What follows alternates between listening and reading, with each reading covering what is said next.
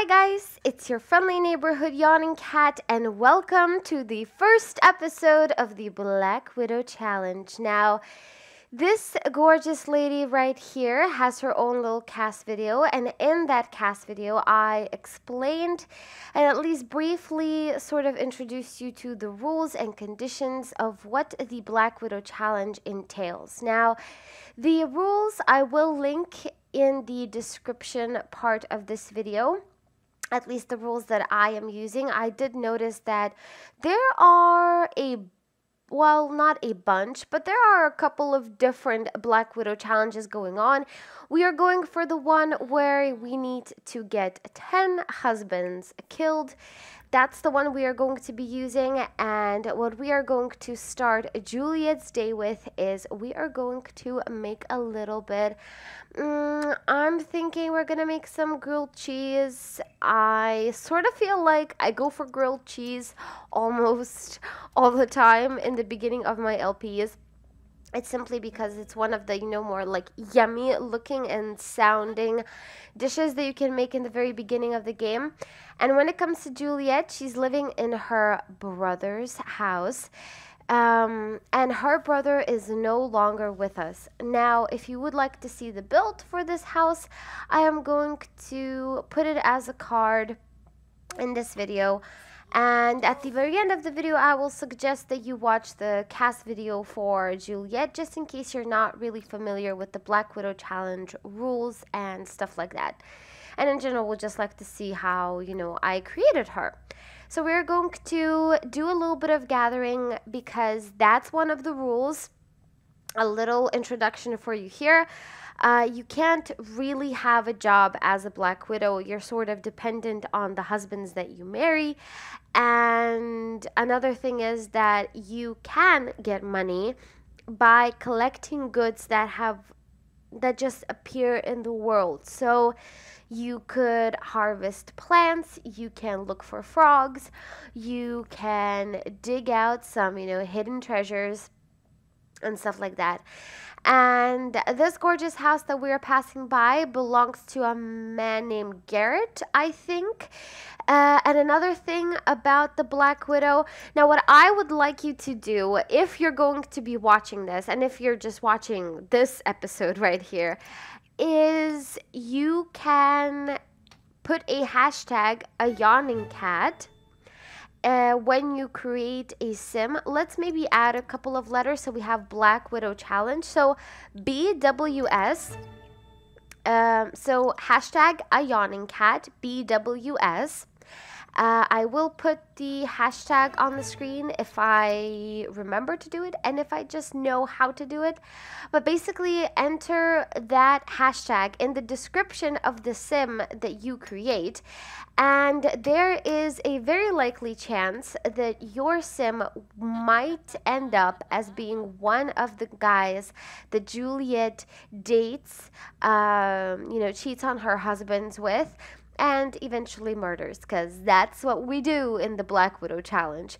So I've I think entered about 6 or 7 guys into the world um, so there are a couple of guys already in the world living in mansions and stuff and I've already decided that she's going to be with those guys. But Jay um, the guy that is actually at her door right now. It is her good friend. He has been living in Newcrest um, for as long as she can remember. And her brother used to live in Newcrest. She did used to sort of just visit the area to sort of check up on her brother from a distance because Jay and her brother Bill were neighbors. And Jay is not going to be one of her victims, that's for sure. He's sort of her one string of humanity that is sort of always been there and it's somebody that she can rely on. It's somebody who she just loves dearly and there's no chance in hell guys that we are going to marry and murder Jay. Jay is her friend and oh, it's not Garrett, it's Grant. So Grant lives in one of the fancy houses. and I would like to see the name of the other guy. Oh, Laurent. So Laurent also lives in the neighborhood and he also has a very big mansion. And I'm thinking that we're going to try and spice things up with one of these guys, see how it goes, and one of them might actually become our first prey. Now, it really depends on, you know, who's going to be a taker right now because, well, Juliet's not the kind of type that's going to you know, sort of beg for a man's attention. She knows what a guy wants. That's why she wears the clothes that she does. You know, she knows that she's supposed to have revealing clothes uh, because, you know, guys have wandering eyes. And she's just sort of flirting it up with both of them. And we will see which one of the guys. Grant or Laurent will fall into her web. Now, you see, I definitely think that this challenge is a challenge where you want to, um, you don't want to take things slow. You know how in my other LPs, they're very like plot driven, and we can have an episode where we take it slow and we just sort of relax and we sort of bond with the characters. The Black Widow challenge is basically, at least to my, you know, to my mind, it's about a woman who doesn't really take her time with men because what she wants from men is not necessarily something you need to take time with. You know, she doesn't want to build a romance. She doesn't want to create this, you know, epic love story with them. No, um, what she wants is to seduce them, to get them into bed, to, you know, if they like it, then they should have put a ring on it. And when she's got a ring on it, she wants to marry them, show off that she's the perfect wife so that the cops and, you know, witnesses wouldn't suspect a thing uh, and Grant is not accepting our affection, we, might try some more. We might we might compliment his appearance, just appeal to his vanity, even though that's not working. So yeah, so Juliet is definitely wanting to do to sort of take advantage of her husband's to show off to anybody that could potentially suspect her that she you know that she is a perfect wife and convincingly convince them that she would never do any harm to her hubby, and then cheat on him and murder him. Uh, another thing that I actually wanted to consider, and hey, you know, throw in your two cents into the fountain of the comment section down below if you have a suggestion as well. But I've been thinking, you know, I know that the English simmer, when she did the Black Widow challenge, she sort of killed off Sims in different ways, kind of, although I don't think every single one of them died in a different way, but uh, she killed them all in a different way, and she sort of just tried to kill them off with the game. So, like, you know, making a person hysterical and, like, you know, putting them in a pool and then building a fence around them. But, you know, to my mind, that's not that's not as realistic. And i know that there is a mega violence or something violence mod going around the sims 4 where you can basically you know stab sims and you can shoot sims. You can just sort of do a lot of stuff with sims. And um, and that just seems a little bit more realistic because if we have a Black Widow that kills her husbands, then, you know, we would have a mod that allows Juliet to physically be the one killing the Sims. So I think it would be a pretty good idea, but you can sort of, you know, like I said, put your opinion into play and sort of you know tell me and and sort of argument why you think something else or maybe why the violence mod would be a great idea. You know just just make your suggestions. And when it comes to juliet it's obvious that Grant is not the guy for her. I mean, hey, Jay is here thanking us for being a great neighbor. We just became good friends with him. Of course we did. I mean, he's a great guy. He's a good guy. He, you know, watched out for her. He was the one who wrote her a letter that her brother was sort of feeling unwell for a couple of days. He was the one who warned her that something might be happening but you know in the end, he couldn't prevent what was unpreventable. But Juliet, in this case, is using this beautiful house in a beautiful area called Newcrest to her advantage. And you know, she's just going to she's just going to take it take it with um, take a chance with Laurent over here, and we're gonna see how flirtation goes with him. With him, you know, Grant wasn't very accepting, but does Laurent fit into the same sort of um, pattern? Who knows? We're going to see. We're going to. They already have a pretty big pink bar. Now, see, and that didn't work on Grant. Now, no matter how hard he tried, he was just like, mm, I am a little bit skeptical about you, poor girl living in a small house. I'm not sure you're not just a gold digger. And I think and I think Juliet will prove Grant wrong when she just swoops in with a bunch of cash that she gets by living with Laurent and proves him that she can be a fancy bitch if she wants to. And Laurent, oh, he is digging. He is digging her um, affection and her approaching him. So we're just going to smooth recovery out of whatever awkward situation we got ourselves into we are going to flirt. We're going to probably compliment his appearance. I mean it's it usually works. It works like a charm. If you've ever wondered how do you get into good graces romantically with a sim? I just sort of spam flirt compliment appearance flirt compliment appearance until i get a pink bar.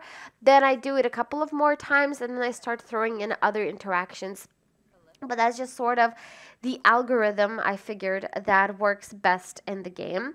So we are going to try and compliment his appearance once again. And she wants to have a first kiss with him. And I sort of yawned while talking, so I'm sorry for that. So she wants to have her first kiss with him. We can definitely arrange it. We're going to blow him a little kiss just to give him a little idea of what we're into here, just to give him a little taste of what we really want. And he's just like, oh, wow, you are one beautiful, gorgeous, amazing woman, and I am, I am taken aback by your amorous exchange of words. And she's like, wow, if you're overwhelmed, let me get your number, baby. And he's like, uh, I want you to call me anytime and every day and just let's let's hang out. And she's like, well, you know, it's all in day's work of a black widow. And he's like, what? Nothing, nothing at all, you silly little prey. And that's how she's looking at him. Like, he's this, you know, simple, young, naive little guy that just buys into her flirtation and he doesn't even suspect a thing. And that's why, you know, Juliet, Juliet's a perfect sort of flirtation master. She has really sort of went through a lot of relationships with guys and she has always been great at starting relationships and at sort of just getting what she wants in them. But then she realized that it doesn't really matter how hard you try. Sometimes the guy is just a freaking mess and he doesn't want to have anything to do with you. And then that's the sort of thing that can drive a relationship apart is that no matter how good you are, at making the other person feel right. Sometimes the other person isn't right for you and then they just hurt you and treat you like garbage and that's that's a thing that might happen. So we are actually going to ask him to leave. And I think that we are maybe going to go on a little date with him. I definitely would like her to do that. So we might just take care of her knees, and she's eyeing him like her first little prey. She's like, Oh, you're in my web, and I know exactly what you're going to be getting. And when it comes to Laurent, I want you guys to understand that every single one of these guys that Juliet is going to be with have their own dark and not so dark, but pretty darkish secrets. And that is why she's going after these men. She has moved into Newcrest because Newcrest has famously been known, at least, you know, in her sim universe, as the place for rich and suspicious guys and personas in general to move to.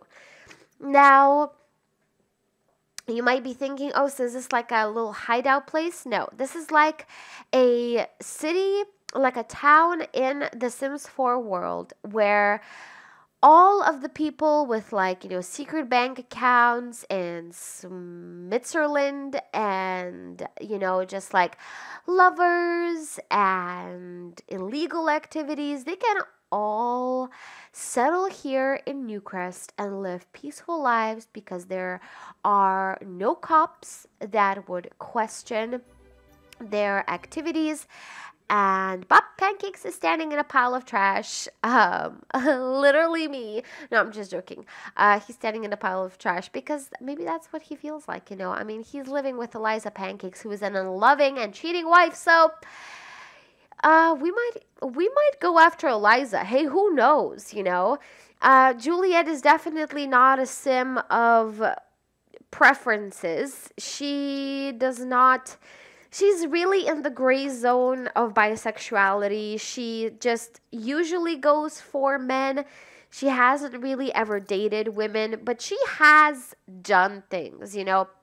Some people like to call it experimentation. In our case, it was just her just getting it on with, you know, a chick that she met in college. And, you know, for Juliet, there's no such thing as um, you know, there's only Adam and Eve and not Adam and Steve or whatever. She's she's tolerant and she herself is actually feeling like she could swing both ways. She's just usually preferred males. That's her little thing. Um, you know, it's the 21st century. We can all be open about our sexuality. And with Juliet, it's definitely the case of her just knowing that she prefers one gender over the other, but that she is definitely open to both. So, hey, if you want to create a hot smoking bad bitch for Juliet to seduce and punish for her crimes against you know, men or women or just humanity in general, then please feel free to do that as well. This this LP does not discriminate. Uh, Juliet does not discriminate. Juliet is just used to men, and she is going to go out on a date with Laurent. So here we are at the Chowder House. It has been made by Sil Rose. As you guys might have heard from my, well, oh wait, you haven't. You haven't because I haven't showed you that episode yet, but um, sorry, just a little brain fart. So we're at the Chowder House, which is built by Sil Rose. She's one of my favorite builders. She makes builds that are really real, you know, like they're not over the top, they're not too much, they're just perfect. And Juliet is sharing a secret to Laurent that, you know, she has never really been with a man on a date before and he's just like oh well i am flattered that this is your first date. And juliet knows that guys are a fan of that they're fans of firsts. So she knows that her stressing that this is you know her first date with a guy in forever uh, that she just usually just sort of started dating guys and she never went on official dates it gives him flattery because it makes Laurent feel like, you know, he's the one to sort of go out on a date with her first. It's sort of like his little victory, but she's giving it to him as a victory because she knows that that's what men dig.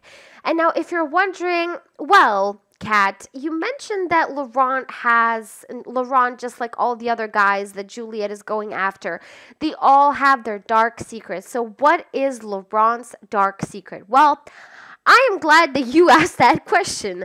So, Laurent's dark secret is he has been in a situation just like Juliet. He has, you know, sort of been slumming it for a little while. He lived in a tiny little house that needed TLC. He had holes in the walls, and huh, now he's wearing no clothes. Okay, uh, Laurent, chill yourself. So he lived in a crappy, basically, house. Um, he had no money, but he did work for a business company for a CEO who was a female. And he was just sort of working in a cubicle, working a dead end job position, basically.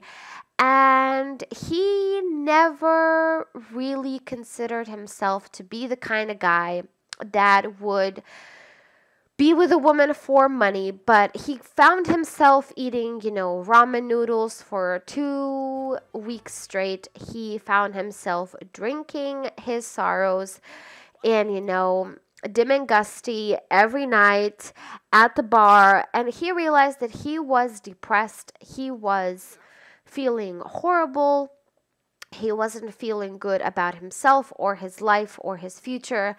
And that's what sort of made him reconsider his values. So he went after the CEO of the company, his future wife. He seduced her. He then made her fall in love with him, even though he didn't love her at all. Uh, she wasn't his type, but you know, she was she was just a very, very skinny and athletic uh, woman who was very ambitious. Uh, but not like ambitious, like I want to be the CEO of this company, but ambitious, like she would sort of um, go to every negotiation with, you know, the partners of the company. She would sort of take on all the responsibility of the company, not letting any of her uh, CFOs do any work around. So she was sort of one of those. Um, I'm not going to see career women because there's nothing wrong with being a career woman, but she was one of those women that just sort of needed to control absolutely every single part of everything in her company and her life. And it made her employees feel like, you know, then what am I doing in this company if you don't even need me here? Um, so he didn't really like her for that. He didn't like her for the fact that she started dressing him. She started, you know, picking the sort of hair that he's supposed to have, the sort of glasses he's supposed to wear to the beach. She just sort of started controlling every single bit of his life, and he knew that that was just, you know, something he would have to endure to marry her. Now, being a woman who had never sort of felt love's charms, and I do mean the CEO of his company, she was sort of naive and she didn't really check the prenup that they signed before getting married and she just sort of went for it um, and she signed the papers not even checking the little you know lines on the margins and stuff like that. And what laurent had snuck into their prenup was that if he finds her cheating on him with or without any evidence of it um, like with just subtle evidence of cheating, then he would get everything that she owns and she would have to give up, you know, her company and everything to him. So what she didn't know was that when she would go to the gym and just, you know, hang around with her trainer and stuff like that, he had a private eye sort of take pictures of her. And you know with your trainer sometimes you know they help you out with some um, exercises and they hold you and they touch you and stuff. And so he just he just sort of milked the the cow of the um, air quotes evidence of her cheating with her trainer on him. And the court deemed it the sort of mild suggestive evidence of her cheating as enough to give him everything that she had and he basically bankrupted his wife who he did not love. He got her company. He sold it for profit. And he now just lives off of all the money that she had worked hard for her entire life. And he so he ruined a woman's life and her career and her company that her family had worked on for generations because he felt bad about being poor. So we are asking Laurent to change into clothes. He changes into her his party wear, and I do not approve of the belt. But we just don't want to see him in his trunks anymore. You know what I'm saying? So we're going to go outside to the little area outside of the uh, chowder house and we're just going to chat a little bit on the bench. Now, they had some ceviche and chips, they had some drinks, they're relaxed, they're full, they're satisfied, they are feeling frisky. At least Juliet is. We're going to see about his. Oh, he, he's flirty too. Okay, so they're both flirty, they're both feeling it. Um, so we're just going to flirt it up. You know, she's she knows that this guy would never suspect to be taken aback by a woman that, you know, is in a position where he once was. So, we are here at the Black Widow house. Uh, I still like how I, that's what I called it. Um, so, we are here. Laurent has walked us to the door and we are going to probably invite him over and have a little, you know, nightcap. We're going to invite him over to stay the night. And he's just like, oh, well, I like how on towards you are. And she's just going to caress his cheek, make him feel like the most amazing guy that seduced a woman like her, even though she seduced him, we all know that. She's going to, you know, kiss his neck and just just sort of go for it and really really really um show him how much she cares. And she is going to be like, you know what? Got something on your neck. And he's like, what do I have on my neck? And she's like, my lips. And she's just sort of going for it. She's a seductress for sure. Um, you know, if you're wondering, you know, how does she know all of these things? Well, you know, this this girl, she's she's been in relationships before, in a lot of relationships with a lot of guys like Laurent. And that's her problem. She just can't find a good guy in this world. And their first kiss is got to be documented with a thousand screenshots, people. Um, so she has never really found a good guy, but she knows how the bad ones work. And she knows how to make them and what makes them tick. So she's just going for, you know, all the steps, kissing his neck, having their first kiss. And you know what? We're going to go upstairs after a little bit more flirtation and do something that we know Laurent is dying to do. So they're going to go upstairs and they're going to woohoo. They're going to woohoo because she knows that that seals the deal with Laurent. He's already called her on towards. He has already said that he likes how straightforward she is, and she's just going for, you know, that last bit of straightforwardness with her sexy lingerie, and damn, that's a cute outfit. And they are going to seal the deal and just do it under the sheets. And you know, the game says it's her first time, and that's what Laurent thinks. So she basically whispered into his ear while, you know, kissing his neck, you know, it's going to be my first time. And he's just like so delighted. He is the first one to take her out on a real date. He's the first one to have her. And she's just giving him all the little titles all the little victories that she knows he will enjoy. And she's just sort of going for it. And I think that this shows you that Julia doesn't just mess around.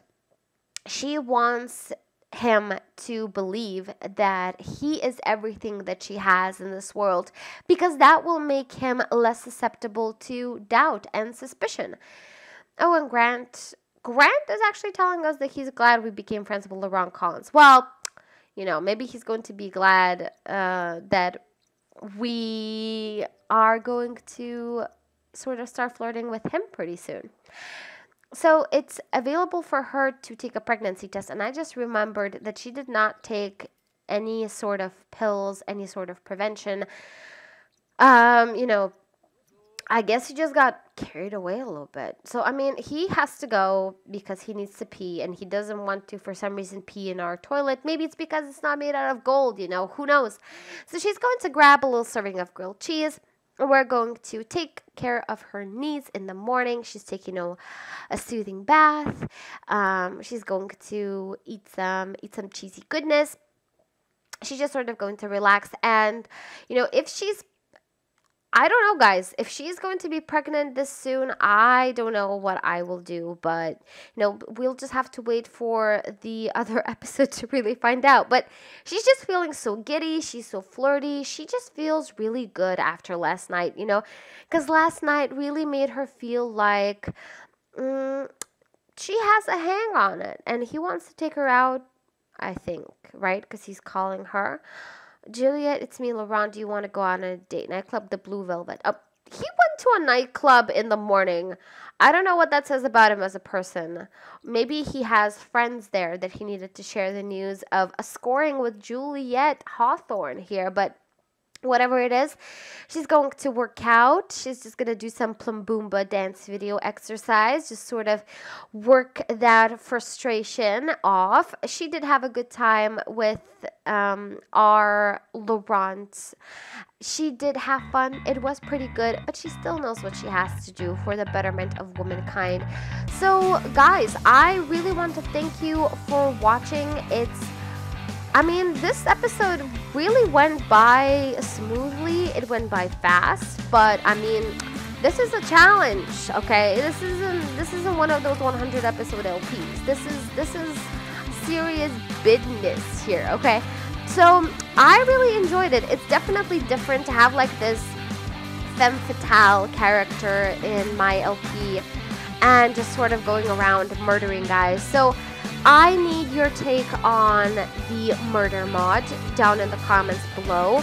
If you want to create a guy for Juliet or a girl or a girl, but she has to be smoking hot. Okay, like Juliet's Juliet needs something that would scream I got a lot of work done on me because that's how I get money from guys. Like maybe she will actually kill off another Black Widow.